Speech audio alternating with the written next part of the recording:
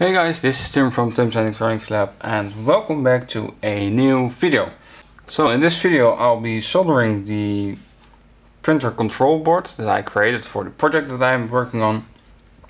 Uh, this project allows you to control your 3D printer using home automation. It also allows you to read the power consumption values and it will allow you to turn it on or off uh, and it allows for controlling some lights that are above your printer or in your printer area. Now of course the Gerber file slash KiCad project is in the description uh, and you'll need a couple of things.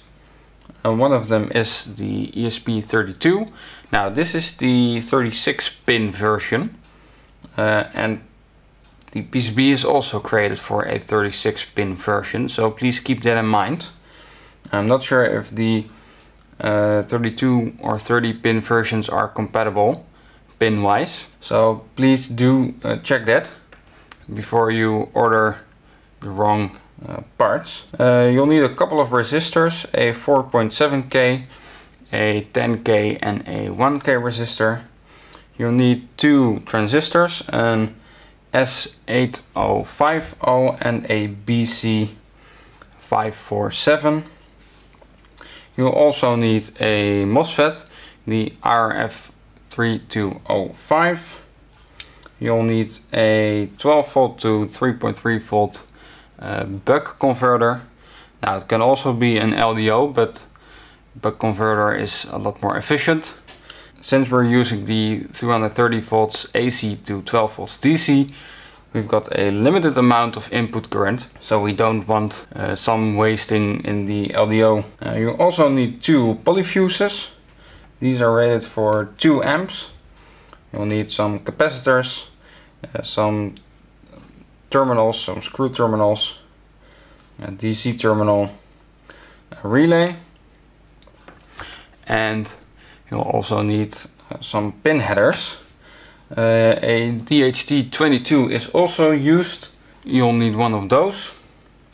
You'll need a PZEM004T. Now, it doesn't really matter which version you've got, as long as you've got that 3.3 volt mod installed on it, then it's all good. And I think finally you also need two uh, diodes. I'm using the 1N4000 uh, 001 for those. Um, and of course you'll need your soldering iron. So I suggest that we start off with the smaller components, transistor and resistors. Now these diodes are here to um, protect from backfeed into the printer. Since there's a input, a 12 volt input that's that can be used uh, for the printer to yeah, get the printer's 12 volt internal power supply connected to your board. Then you'll do some, uh, then you've got more current capabilities for the LED. Since it's pretty limited. Um, so let's actually measure the resistors, see which one's which. So 4.7 kilo ohms needs to go to R1 so let's install that into R1 that is the transistor that controls the relay. 10k resistor that needs to go to the DHT22 data line. So that should go here and finally the 1k resistor goes into R3 and that's used to control the MOSFET. That's used to control the LED that are most of the items installed on the PCB I thought I had a uh, pin header that perfectly matched the amount of pins that's on this ESP, but as you're able to see, where's the camera? As you're able to see, I'm missing one. But that's uh, the COK pin. Doesn't really matter. And let's put the header over here so we can now that's the shame with these headers is that when you're cutting them like this you're always destroying one single pin slot because yeah that's the one you're cutting it in. So it's really a waste of headers at some times but I guess that's just the way it is. Now I think that our soldering iron has heated up. Uh, let's do the transistor first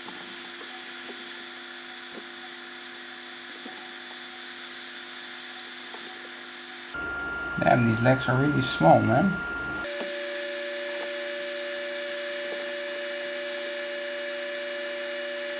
Like so. Let's actually remove these caps. They're a bit annoying. Alright. Now let's solder the other transistor and let's hope that this one goes a little bit better. I need something in there. Cool,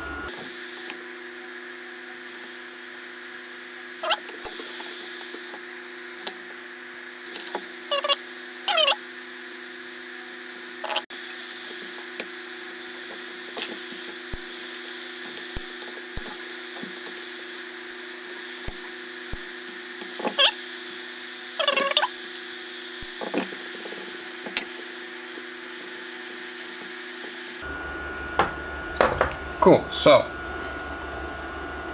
now it's up to the capacitors, I think. So C6 and C5 are 47 microfarad capacitors, rated for 16 volts. And these are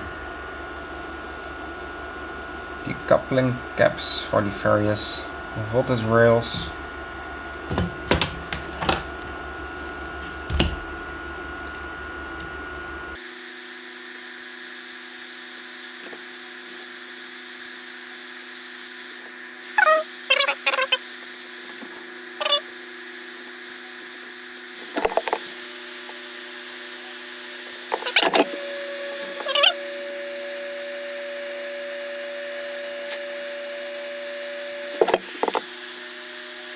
Now solder the bigger ones. These are 220 microfarad capacitors. I think they're also rated for 16 volts, but let's check. Oh, 10 volts. They are across the 12 volt rail. That's not. Uh, so these need to go over there. And let me find some others for these two, because they're not 12 volt compatible and they will just blow up yeah these are 3.3 volt caps and these are the 12 volt caps and these are 220 microfarads 16 volt caps. So these should do. Good that I checked it. Otherwise we would have a uh, blow up and it's just a other waste of capacitors. Now I recycled these from various audio video receivers. The gold ones I recycled from an old Sony. I think it's called the STR DB940. It's a really was a really high quality amplifier. It still is actually by today's standards and it's Nichicon gold rated caps all over. Literally a gold line.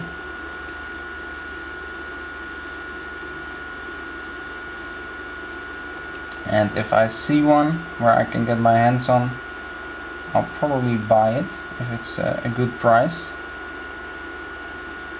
Because it, it's oh man it's such a good audio video receiver. And the others yeah I just got from uh, various random other receivers that were probably broken. The Sony is also broken that's why I, I um, down but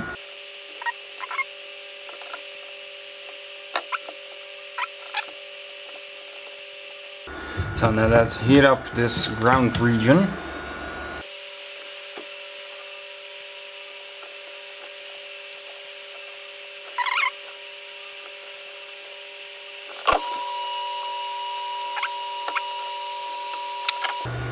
Now there is one thing, the fuses don't actually fit inside the holes on PCB. Now I already fixed that in the schematic and the PCB file.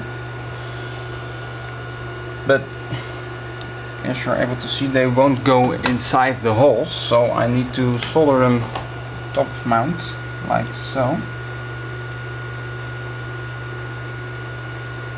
With a lot of solder.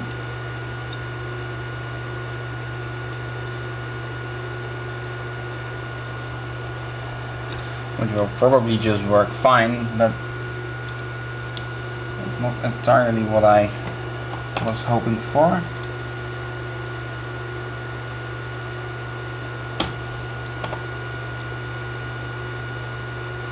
Now, of course, everything is fused. The 12 volt incoming rail, or the yeah, the no, the 3.3 volt rail and the 12 volt incoming rail. Yeah, that they're all fused.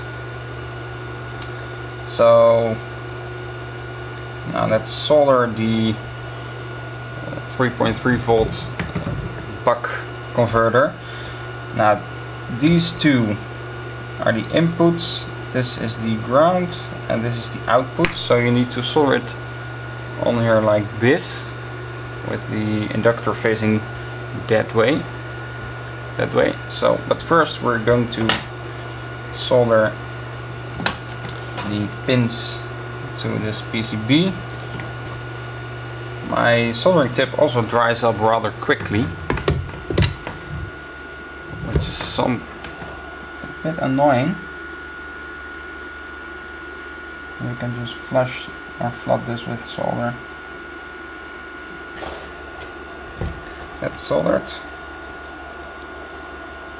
Now we can just insert it like this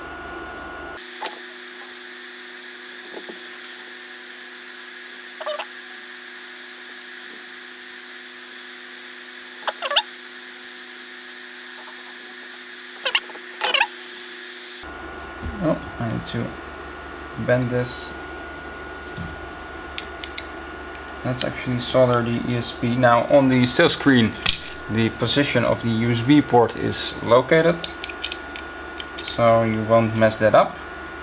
And let's install it like so. Now obviously I'm installing it in header so if something goes wrong with the board I can just replace it that's always uh, the extra price for the headers are worth the effort.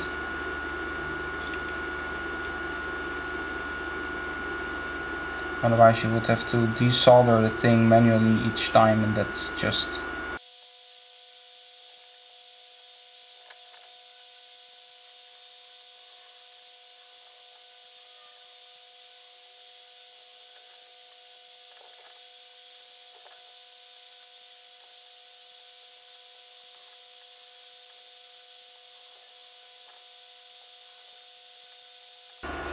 Now let's solder in this thing. I think it went, yeah, it went like this.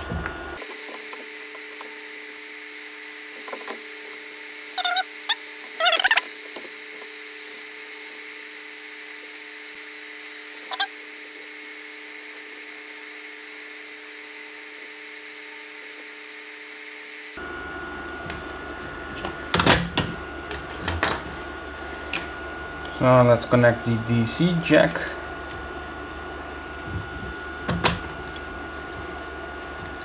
Now the DC jack's output is the same as the two screw terminal block that's over here, but this is just yeah, DC jack. Now, the soldering process hasn't been done in the most optimal uh,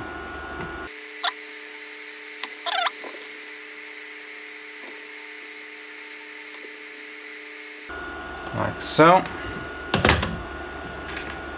Now let's solder the terminal block over here.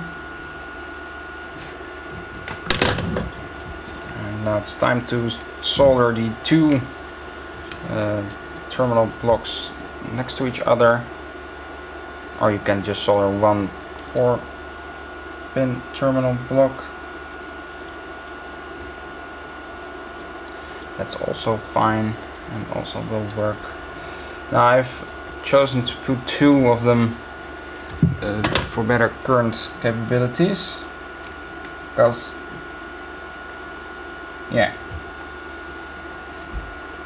System might uh, also get some high current values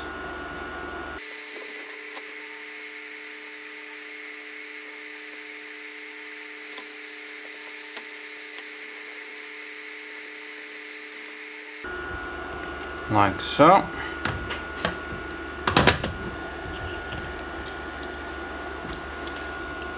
Now the AC connectors.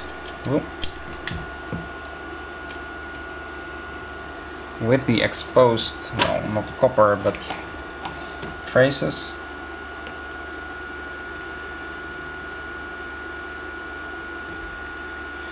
solder the earthing connection first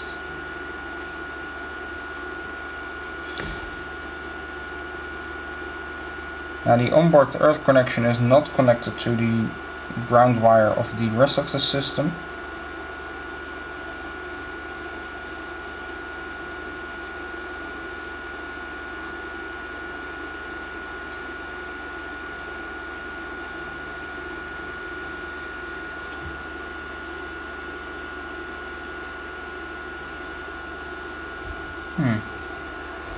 It's not getting soldered properly, I think.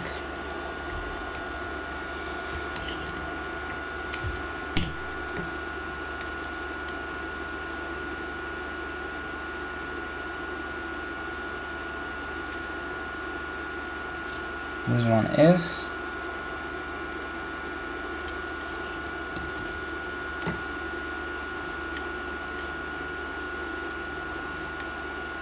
This one isn't.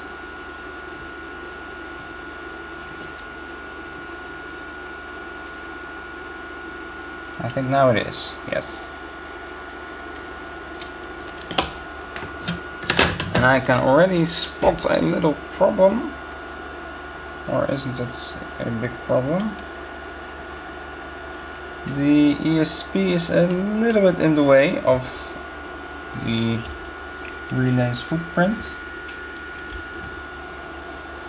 But you can bend the pins a bit and there you go. Now it's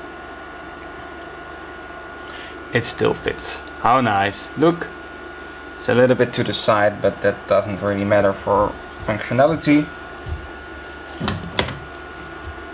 Now, these traces are left open on purpose. You of course want to solder them for increased current capabilities.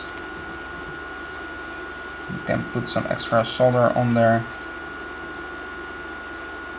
So that's what we're going to do.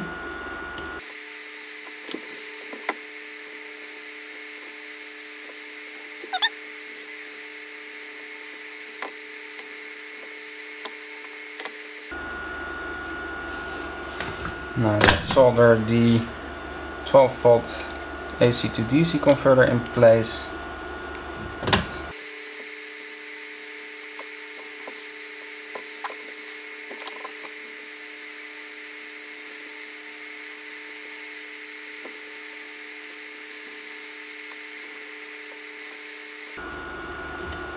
Alright. Now let's solder up the neutral and the live connection for the AC DC converter.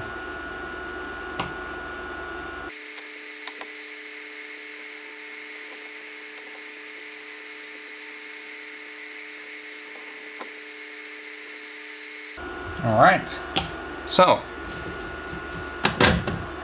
I guess that that's well, almost everything installed. We do have a couple of headers left. So let's cut them into size we need two, four.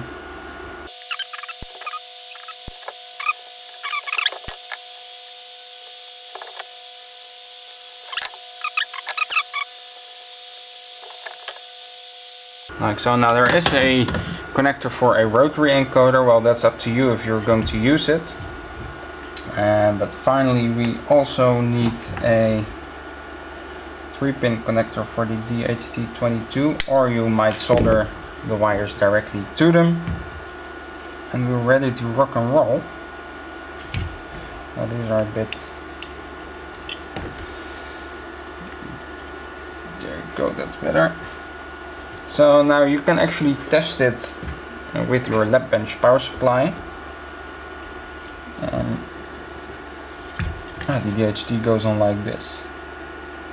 That's fortunate, because now it will fit. You can actually test this with your lab bench power supply by just inserting the 12 volt in there and the ground and then you shouldn't see any magic smoke but first before you do that I'm going to clean the PCB a bit because that's well quite uh, it's quite a need of a clean. Got the last leads. So obviously before we apply uh, 220 volts or 230 volts AC to it I'm going to apply 12 volts DC so let's just do that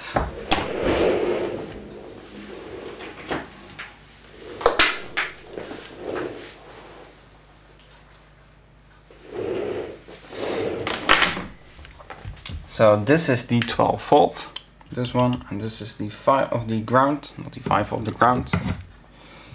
Please don't try to apply 5 volts to it. So what we should see is we should see the screen come on. We should not see any smoke. And when we're lucky, we might hear the relay click one or two times. So let's turn it off on at 12 volts. Of course, do a current limit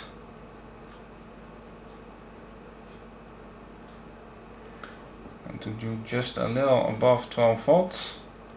Oh, what? Okay. It uh, came loose. I was like, I'm not seeing anything. Uh, is the current maxing out? No, the current is not maxing out. Why is it doing anything? Are the diodes okay? But yeah, when something comes loose, it's not doing anything. So, here we go again. There we go. Connecting, hey! And we see a healthy 400 milli, or no, 4 milliamps. No data in DHT-Q.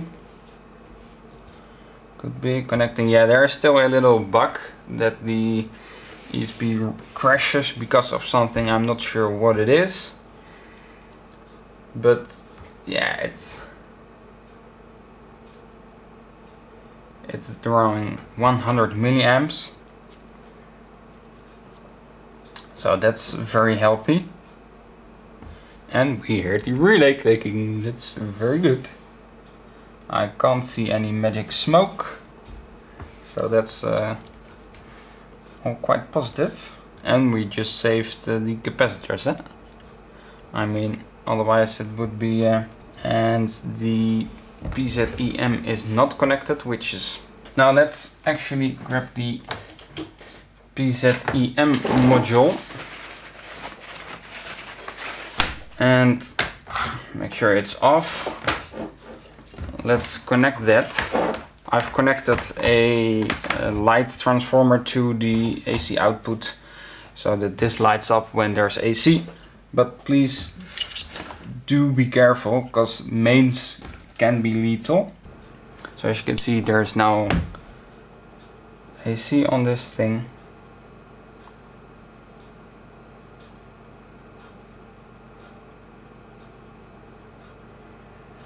And let's hope it goes through the boot presses connected. And I've put a retain flag on this. So we should see it. Yeah, it's connected as you can see 230 volts it says right now so it's connected to the PZEM and it's not connected to the DHT which uh, is a problem. So, well, I unplugged it, but now comes the the more dangerous part. We are actually going to run it of uh, the mains. Let's actually measure the continuity between the wires. No continuity, let's measure the resistance. Nothing, nothing. Yeah, this is the resistance that's caused by the AC to DC thingy.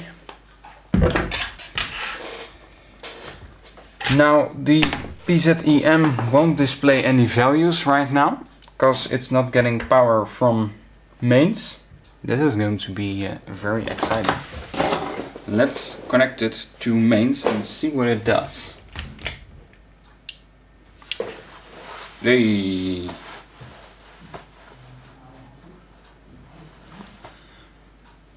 This is connected or this is on So it's working, which is uh, very good. Big thumbs up for that. Now there are still a couple of things I need to fix because, yeah, as you saw, the, the whole thing crashed and it did not work as expected. Yeah, I need to fix that. I also need to um, fix the DHT and well, I will hopefully have that all done by the next video. Then I'll also create a 3D printed case that this all goes in um, and I'll assemble it together with you. So please let me know if you like this type of project. Um, so yeah, if you do, then maybe I can do more of them.